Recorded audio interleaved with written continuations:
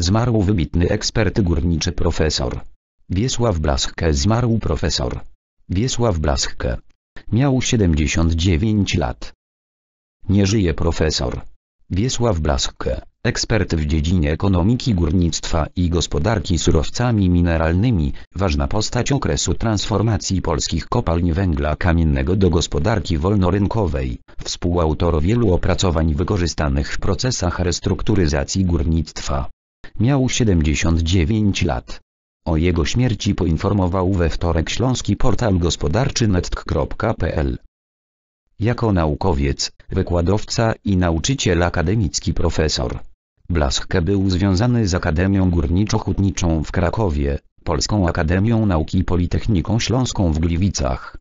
W latach 1997-2003 był także doradcą prezesów Państwowej Agencji Węgla Kamiennego oraz Państwowej Agencji Restrukturyzacji Górnictwa, instytucji odpowiedzialnych w owym czasie za przekształcenia sektora węglowego. W latach 90. Przez niespełna 3 lata był też wiceprezesem katowickiego węglozbytu. Profesor Wiesław Blaszkę był absolwentem Wydziału Górniczego Akademii Górniczo-Hutniczej w Krakowie ze specjalnością przeróbka mechaniczna. Po studiach związał się zawodowo z krakowską uczelnią, m.in. w latach 1974-1976 był dyrektorem do spraw nauki w Instytucie Przeróbki i Wykorzystania Surowców Mineralnych AGH. Pracował też w Polskiej Akademii Nauk, gdzie kierował Zakładem Ekonomiki i Badań Rynku Paliwowo-Energetycznego w Instytucie Gospodarki Surowcami Mineralnymi i Energią. W 2000 rok został profesorem nauk technicznych. Był prezesem Stowarzyszenia Inżynierów i Techników Górnictwa. Najważniejsze doświadczenia za swoje najważniejsze doświadczenia, wiążące się z pracą naukową, uważał opracowanie i wprowadzenie do stosowania następujących pojęć, krzywych charakterystyk cieplnych węgla, sprawności ekonomicznej wzbogacania, wartości produkcji węgla, schematów ekonomicznych zakładów przeróbczych, poziomu i struktury cen.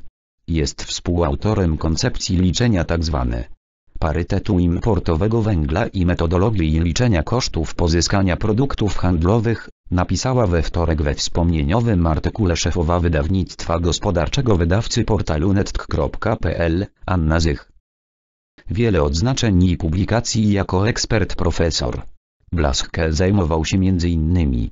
dostosowaniem krajowego górnictwa do funkcjonowania w Unii Europejskiej problemami opłacalności eksportu węgla, organizacją handlu węglem, tworzeniem kombinatów górniczo-przetwórczych, zagadnieniami opłacalności wzbogacania węgla, opiniowaniem projektów nowych zakładów przeróbczych. Profesor był autorem ponad 350 publikacji w tym 40 referatów prezentowanych za granicą i 120 opracowań naukowo-badawczych. Za działalność społeczną otrzymał ponad 20 odznaczeń, m.in.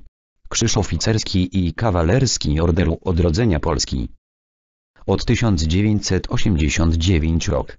Blaszkę uczestniczył w pracach związanych z transformacją kopalń, współkierował zespołem przygotowującym analizę stanu oraz koncepcję zmian systemowych i organizacyjnych w górnictwie węgla kamiennego.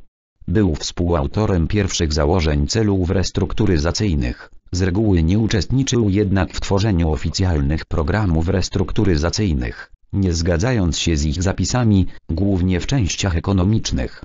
Rozwiązania jego zespołu, dotyczące stanowienia ceny węgla, zostały w 1990 rok wprowadzone w życie decyzją ministra finansów. Pracował w wielu zespołach eksperckich rozwiązujących problemy ceny węgla i oceniających szczegółowe plany restrukturyzacji kopalń.